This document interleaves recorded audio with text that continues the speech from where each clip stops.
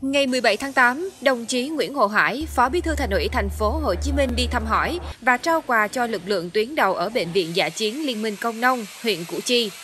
Tại đây, đồng chí cũng kiểm tra công tác chuẩn bị đưa bệnh viện đi vào hoạt động trên cơ sở cải tạo từ trường tiểu học Liên minh Công Nông.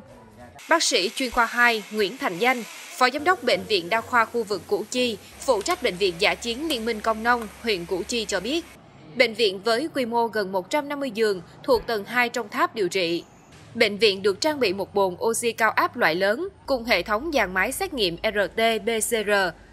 Đội ngũ y bác sĩ chuyên khoa đa khoa được huy động từ Bệnh viện Đa khoa khu vực huyện Củ Chi 22 người, Bệnh viện điều trị COVID-19 Củ Chi 15 người và y bác sĩ ở các phòng khám bệnh viện tư trên địa bàn huyện.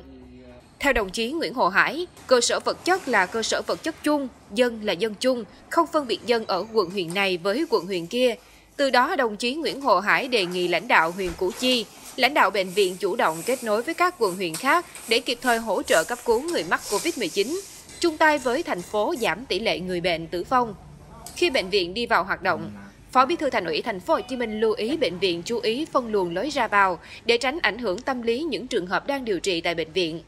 cần chú ý khâu xử lý rác thải sau khi bệnh viện hoàn thành xong nhiệm vụ, phải đảm bảo sạch sẽ cơ sở vật chất để các em học sinh vào học.